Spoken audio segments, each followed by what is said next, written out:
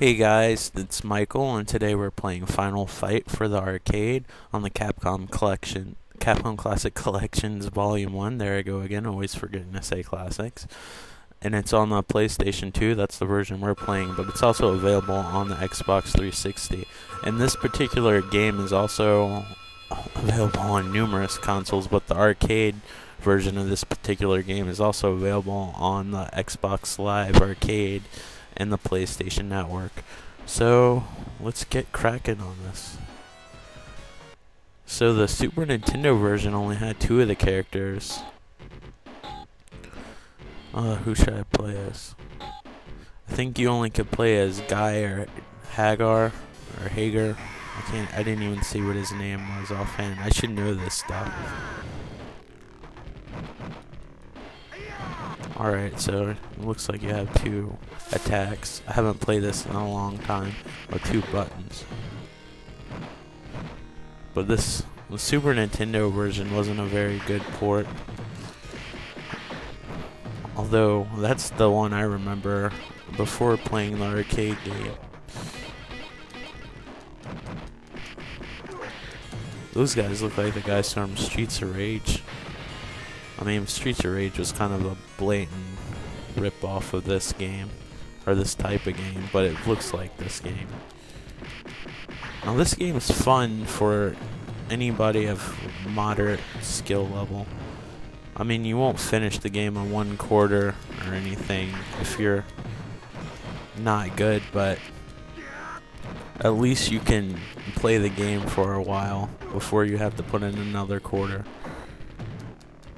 So the I don't even think the first Super Nintendo game even had had two players. I think they didn't perfect really the game until the second Final Fight, which I'm not sure if that was even in the arcade or not. The Sega CD actually had a decent version of this with changed music and terrible cutscenes. But I remember seeing the Super Nintendo version. Of course, I was impressed at the time. I would be impressed by anything at the time that was 16-bit because I had a NES and well, the Super Nintendo version looked way better than the NES. But Super Nintendo version had a lot of slowdown. A lot of stuff was taken out, like the girls in in the game they took out because I guess they didn't want violence against women or stuff like that, even though violence against anybody should be bad if you're going to go that route. But yeah, when I saw the arcade game, I, I was blown away even more. Like, it was in the grocery store, and it was like night and day compared to the Super Nintendo version. Uh, I remember dying when I played the ga arcade game for the first time and his stupid laugh. I'll probably die again in this. One thing I like about these games, I don't think the first Streets of Rage did it, but the second one did, was when they actually named the people and you can see what their name is. Oh, you dicks.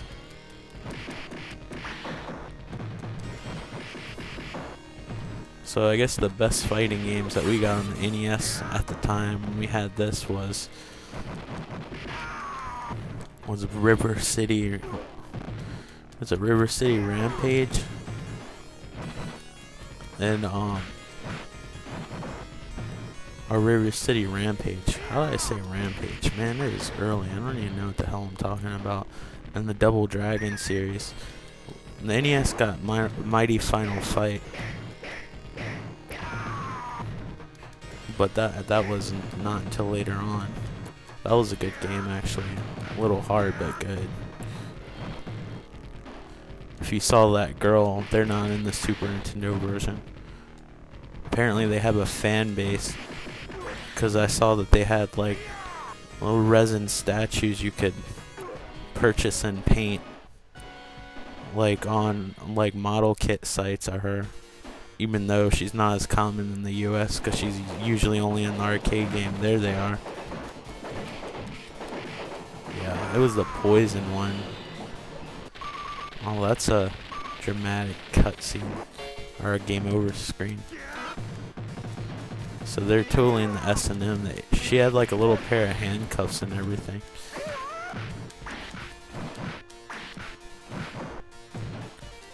Was actually a nice looking figure, not because she was scantily clad or anything, it's just painted really well. Somehow, I think they managed to put less clothes on her though on the statue. But they had some weird stuff on some of these model sites. Like they had a series of like popular characters in video games and stuff that were pregnant, and I was like, what? Is that a thing? Apparently. Where I wind up on the internet sometimes even shocks me. But no, I actually have been starting a small hobby of models and I was looking at different stuff. I'm not an anime fan, but if something's like aesthetically pleasing or like cool and it looks like it'd be fun to put together and make like cars or anything, even if I'm not into it, as long as like the actual process of making it is fun and the final result actually looks decent, I'm interested in doing it. But back to this game, because I'm kind of going on a tangent here. Some people call it waffling, which I found out. It's really not a phrase we use here much, so I wonder if, if that's more of an English phrase, or proper English, because my English is obviously broken.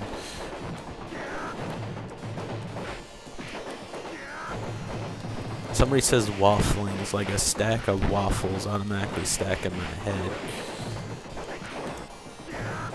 Head's a weird place to hang out in. I don't recommend it.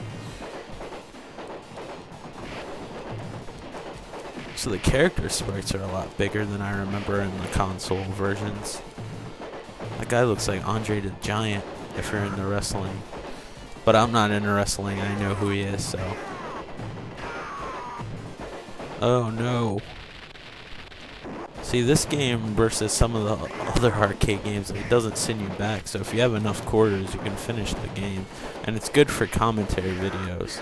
That way I don't show you the first three screens like I have in some of these games that are hard. Why am I struggling so much? I guess it's because I'm talking. Yeah, that statue definitely had less clothes than the actual character model. I'd have to look at the concept art or something to see if maybe it's more accurate to the concept art. Like I said, it was painted well. There's some weird stuff on that site. So I'm going to try to hopefully make, if they didn't send it broken or whatever, try to do a fr my first resin kind of model. That's why I was kind of on the model websites. I was doing cars for the past two models. I haven't done models since I was a kid, but I kind of discovered it again after I saw that they had the Ecto 1A from Ghostbusters 2. That's the Ghostbusters 2 card. It's different because it has extra stuff on there. I was like, oh, I gotta put this together, and then I did that, and then I put together a Batmobile, and I was like, this is pretty. This is a pretty cool hobby. As long as it's fun to put together, it's time consuming sometimes it's better than as much as I love video games. Sometimes it's better to actually make something than actually play sit in front of a TV for a long time. Though that's fun too. Like these videos are kind of making something, but just playing games alone. It's not what I do all day. Now it's turned into confession, but yeah, it's it's a fun little hobby. Probably one of the nerdier hobbies, but I never claim not to be nerdy.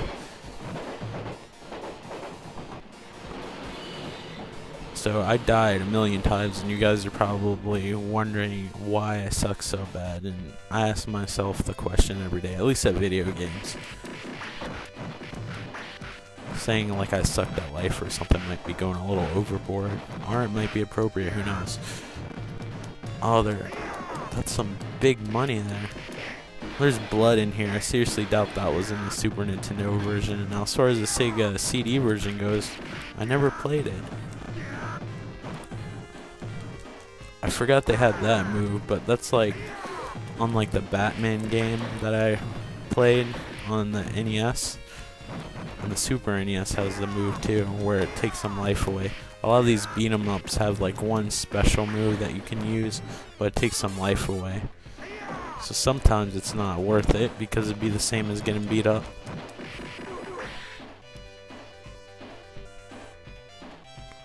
Ugh. It looks like the fence exploded before he actually hit it. Oh, wrestler. Oh no. It's a little overboard. This is a wrestling ring. Oh, do I even have a chance? So far, no.